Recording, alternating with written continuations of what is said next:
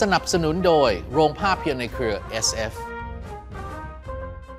สวัสดีครับ ขอต้อนรับเข้าสู่รายการ Movie Guru ครับ รายการเพื่อคนรักหนัง เพราะเราจะช่วยคุณดูหนังเก่งขึ้นนะครับ มาเจอกับคุณผู้ชมเป็นประจำนะครับ กับรายการ Movie Guru ของเรานะครับ ทางช่อง GMM 25 ในทุกคืนวันเสาร์นั่นเองนะครับ และเช่นเคยนะครับ ถ้าคุณผู้ชมนะครับ อยากจะพูดคุยทักทายกับทางรายการของเรานะครับรวมไปถึงร่วมสนุกกับกิจกรรมดีๆของเรานะครับเข้ามาได้เลยที่ Facebook ยังเป็นทางการที่ Movie Guru TV Show ของเรานั่นเองนะครับเข้าสู่ปลายเดือนกันแล้วนะครับอย่างรวดเร็วกันเลยทีเดียวนะครับและก็กำลังจะเข้าสู่หน้าร้อนอย่างรวดเร็วด้วยเหมือนกันนะครับ เพราะว่าตามการพยากรณ์อากาศนะครับของกรมอุตุนิยมวิทยานะครับเขาบอกว่าปลายเดือนกุมภาพันธ์นี้นะครับจะเข้าสู่ฤดูร้อนอย่างเป็นทางการแล้วนะครับ ใครที่อยากจะหลบร้อนนะครับอยากจะมาชมภาพยนตร์ดีๆ มาที่โรงภาพยนตร์ในเครือ SF กันได้เลยนะครับ เพราะว่าที่นี่นะครับมีหนังดีๆให้ดูนะครับมีขนมอร่อยๆ แล้วก็เครื่องดื่มหลากหลายให้คุณผู้ชมได้ลิ้มลอง พร้อมกับโปรโมชั่นสุดคุ้มทุกเดือนแน่นอนเลยทีเดียวนะครับและที่สำคัญนะครับคุณผู้ชมอย่าลืมสมัครเป็นสมาชิกบัตร SF Plus กันด้วยนะครับเพราะว่านอกจากจะสมัครได้ฟรีแล้วเนี่ยนะครับยังมีสิทธิพิเศษมาให้คุณผู้ชมได้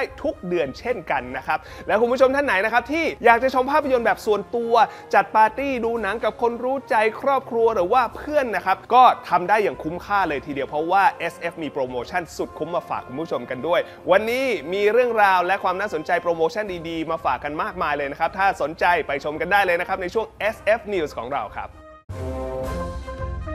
ช่วง SF News Who are you? I'm the man who can give you the one thing you want. What's that?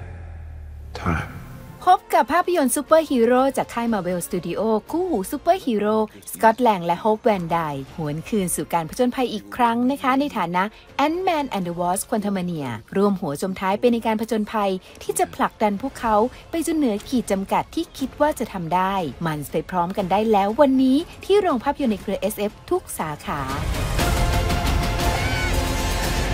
I'm sorry, Cassie.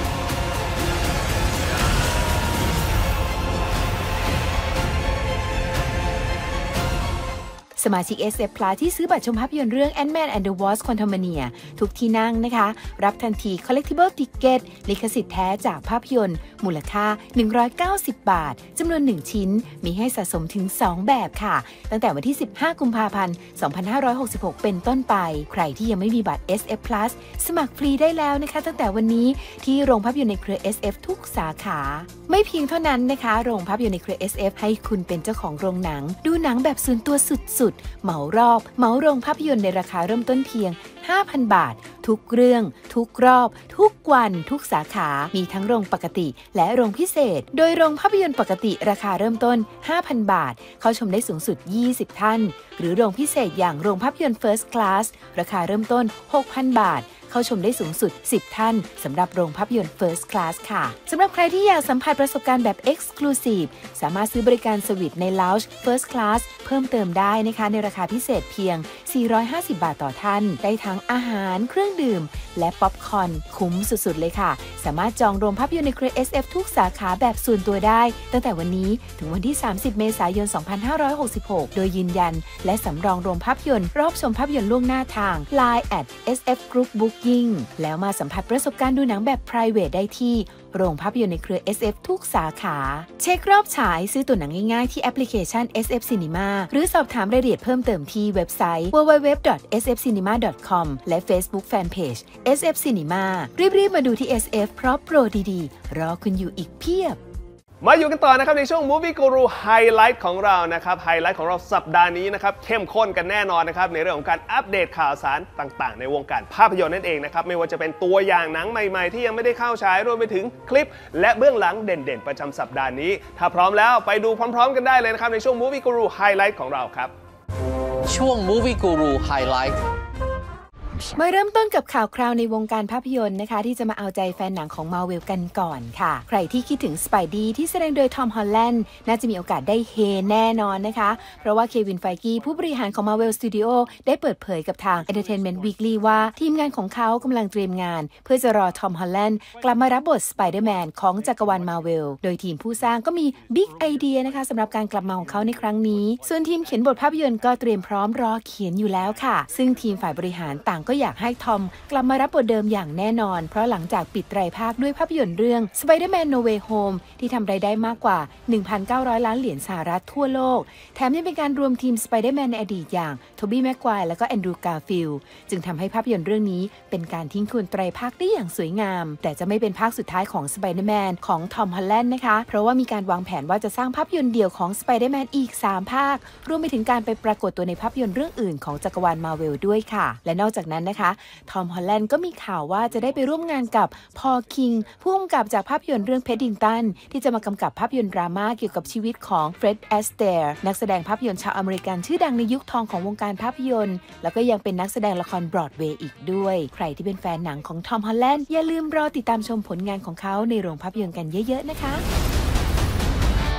ต่อกันด้วยข่าวของวินดีเซลที่งานชุกไม่แพ้กันค่ะ กับภาพยนตร์ภาคต่อที่เขาร่วมแสดง ซึ่งอีกไม่นานเราก็จะได้ชมเขาให้เสียงเป็นกรูดในภาพยนตร์เรื่อง Guardians of the Galaxy Volume 3 และภาคที่ 10 ของภาพยนตร์เรื่อง Fast and Furious 10 ในเดือนพฤษภาคมที่ก็จะเข้าฉายทั้ง 2 เรื่องเลยค่ะ และล่าสุดนะคะก็มีข่าวว่าเขาจะกลับมารับบทเป็นริดดิกเป็นครั้งที่ 4 ในภาพยนตร์เรื่องริดดิก ฟอร์ยา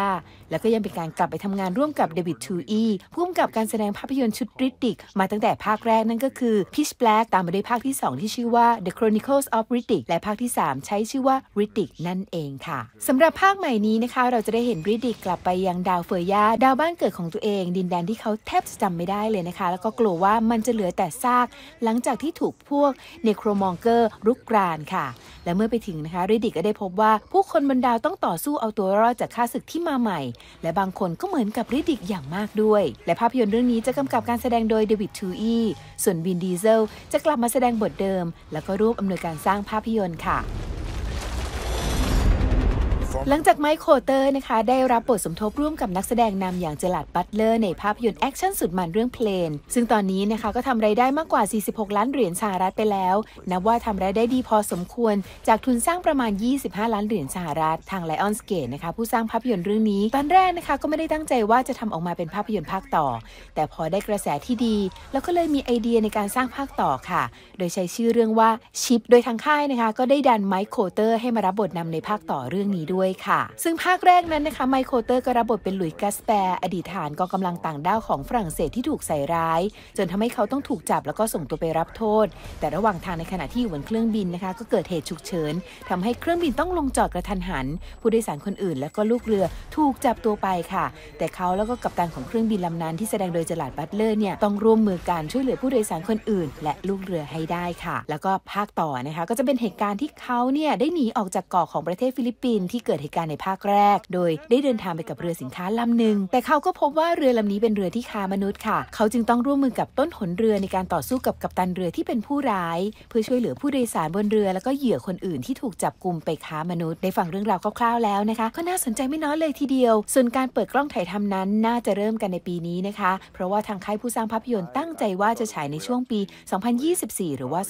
2025 ค่ะ แล้วก็จะนำเสนอโปรเจกต์นี้ในตลาดภาพยนตร์ของยุโรปที่กรุงเบอร์ลินเร็วๆนี้ด้วยค่ะ ผมขัดสมาธิรออาจารย์มาชั่วโมงกว่าแล้วเนี่ย เมื่อไหร่เข็มจะโดนผิวหนังพุทธทีเนี่ยปากนี้นะมึงปิดเนี่ยท้ายนะคะ ด้วยตัวอย่างแรกของภาพยนตร์ไทยเรื่องเสือเพนที่นำทีมความฮาโดยนักแสดงตลกคนดังแห่งยุค อย่างแจ๊สชวนชื่น หรือแจ๊สสปุกนิกปาบิยองกุ๊กกุ๊กนะคะ แล้วก็ควบคุมงานสร้างโดยพจน์อานนท์ซึ่งงานนี้นอกจากจะสนุกสนานเฮฮาหยิกแก้มหยอกกันกับเรื่องราวชีวิตจริงของแจ็คเองแล้วนะคะ ก็ยังมีสิ่งที่เป็นกระแสนิยมมาใส่ในภาพยนตร์มากมายเลยทีเดียวค่ะ แต่จะมีอะไรบ้างนั้น ไปลองชมตัวอย่างแรกเรียกน้ำย่อยกันก่อนนะคะ ที่จะไปชมภาพยนตร์เต็มๆ ต้นเดือนเมษายนนี้ค่ะ